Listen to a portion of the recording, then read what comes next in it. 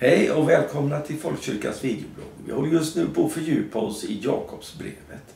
Och nu har vi kommit fram i första kapitlet då, till vers 17.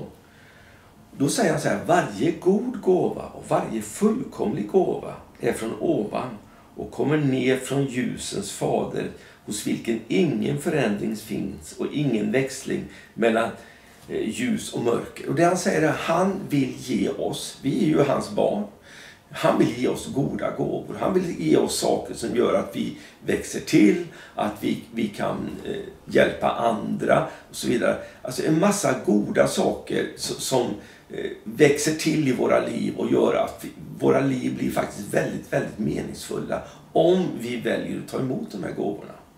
Eh, och jag tycker det är lite fantastiskt också det här det står att eh, Fadern finns ingen växling mellan ljus och mörker.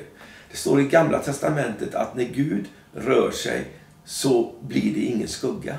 För han är alltid genom ljus. Det är ganska fantastiskt. Va? Allt i Gud är ljus. Det finns alltså inget mörker på något sätt utan allt är ljus.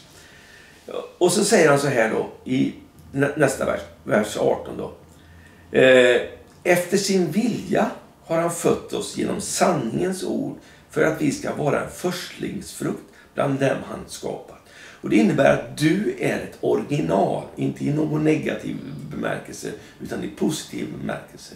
Du är unik. Det finns bara en som är skapad precis så som du. Och Gud är stolt över sin skapelse.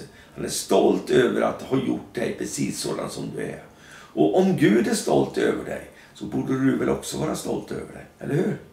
Så ta till dig det här med att Gud har skapat dig precis som du är, att du är en förstlingsfrukt. Och utifrån de förutsättningarna, gör det bästa möjliga av ditt liv tillsammans med honom.